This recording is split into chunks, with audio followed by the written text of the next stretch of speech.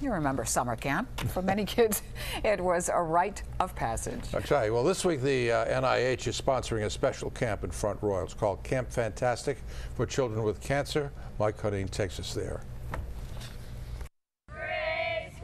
In the Shenandoah Valley at Camp Fantastic, pediatric cancer patients can focus on having fun and forget about cancer. They all have it in common, so it's a common denominator and it cancels itself out. It's just like any other summer camp with canoeing and horseback riding, but there are also creative costumes and more quirky activities. Keep working it. Campers range in age from 7 to 17. When I come to camp, I'm really excited. I have all my friends back.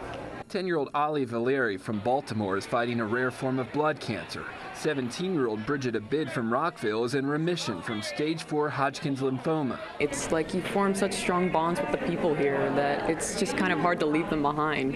Every day, four times a day, the campers go through what's called Medline, where they get checked out by doctors and they receive their medications. In fact, some of these campers are actively going through chemotherapy while at camp.